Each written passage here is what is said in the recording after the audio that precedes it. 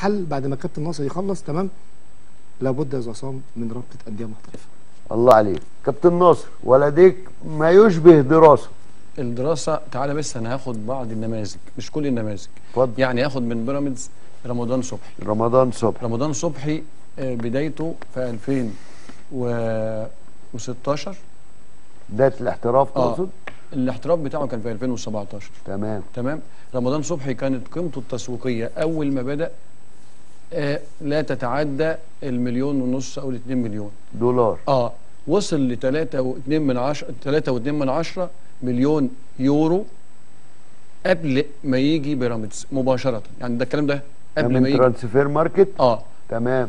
وصل في بيراميدز وده بقى غريب إن اللاعب ده ب 3.2 من 10 مليون يورو يجي بيراميدز يبقى ب 4 ونص.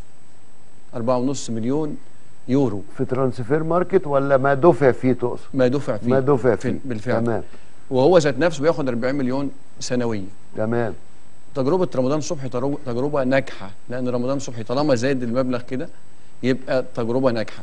بيراميدز بقى زاد في Transfermarkt ولا بقى شاريه نادي بيراميدز بالسعر بيراميدز؟ اشتراه ب 4.5 مليون يورو. تمام. آه. بس هو كانت قيمته التسويقية 3.2 من 10 مليون يورو.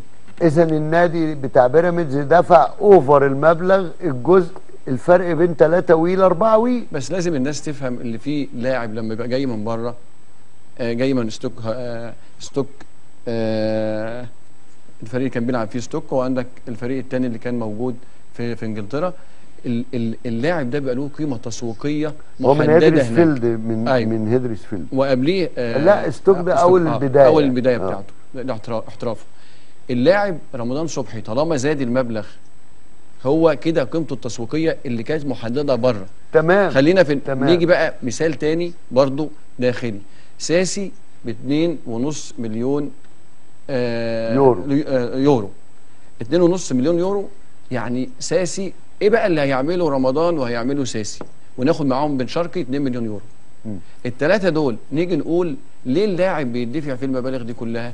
عشان بطولة دوري كاس آه بطولة أفريقيا هو مشترك. كونفدرالية الكلام ده كله والمشاركات والسن بتاعه. يعني رمضان مثلا مواليد 97 ساسي 92 بن شرقي 94 فهتلاقي برضو دي ليها دور.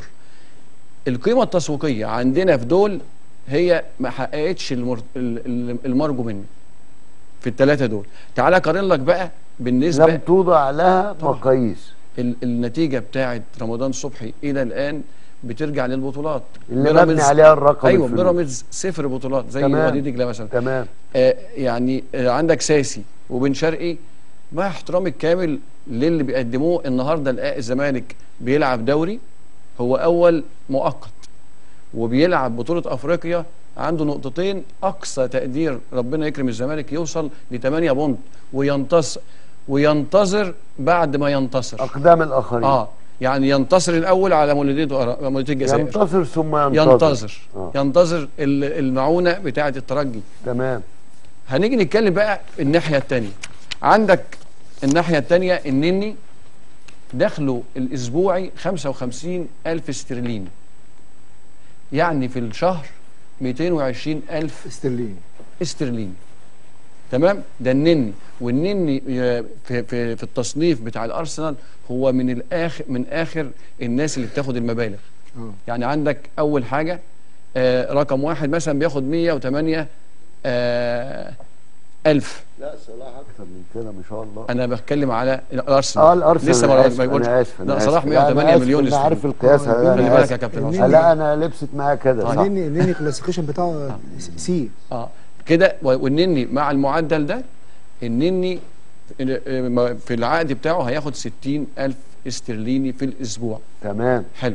ده النني. اللي النني راح راح إعارة من بازل للأرسنال ب 7 مليون. النهارده قيمته التسويقية تتعدى ال 27 مليون. تمام. مرورا بس اللي هو اتباع من بازل.